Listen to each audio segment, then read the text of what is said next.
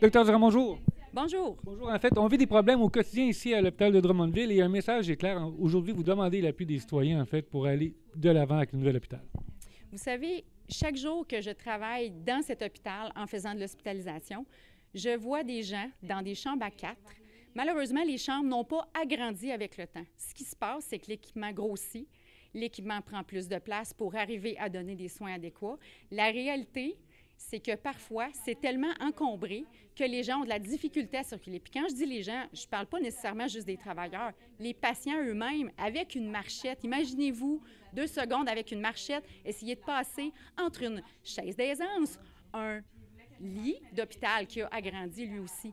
C'est difficile, ça peut même générer des chutes. À long terme, ça nous prendrait des champs mieux adaptés et plus grandes pour donner des soins à des soins vraiment à notre population qui va pouvoir correspondre aux standards de pratique qui changent à chaque jour. Alors, il faut se concentrer, je pense, à bien choisir parce que cet hôpital-là devrait nous durer une autre centaine d'années.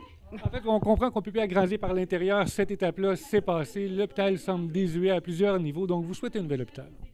On souhaite un nouvel hôpital parce qu'à un moment donné, agrandir dans des murs qui ne bougent pas, ça devient impossible. Et je crois qu'on peut donner quelque chose à l'administration. Ils ont vraiment eu beaucoup d'imagination pour essayer d'exploiter chaque pouce carré, mais à un moment donné, on ne peut pas faire plus dans des murs qui ne bougent pas. On comprend que les citoyens comprennent également, en fait, vous avez fait votre possible, en fait, vous avez fait même l'impossible dans plusieurs situations, c'est ce qu'on nous décrit ici. Euh, aujourd'hui, vous demandez maintenant aux citoyens de vous appuyer dans cette démarche-là, en fait, vous souhaitez un nouvel hôpital, en fait, à Drummondville.